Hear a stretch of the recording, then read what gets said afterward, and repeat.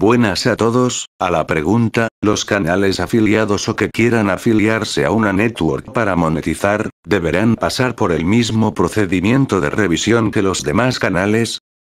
La respuesta es un rotundo, sí.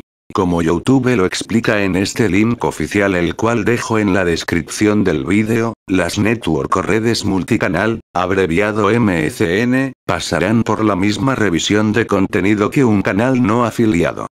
Esto es porque las network no otorgan la monetización, YouTube es el único que acepta o rechaza la monetización de un canal, por ello se aplicará los mismos requisitos y procedimientos a todos los canales postulantes a monetizar. Ahora, aquí también respondo una pregunta que varios me hacen y de seguro alguno de los que ve este video también, ¿qué es una network?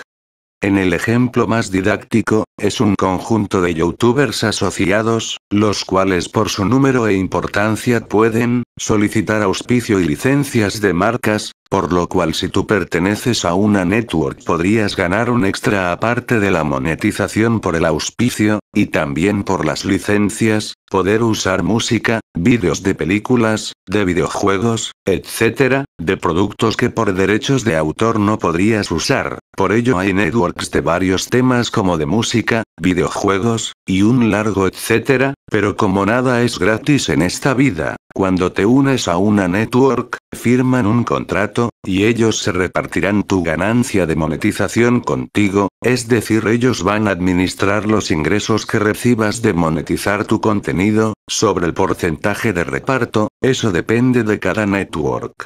Por ello te recomiendo, si quieres unirte a una, siempre lee todo el contrato.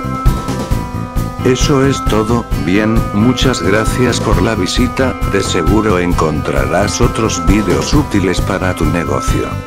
Gracias.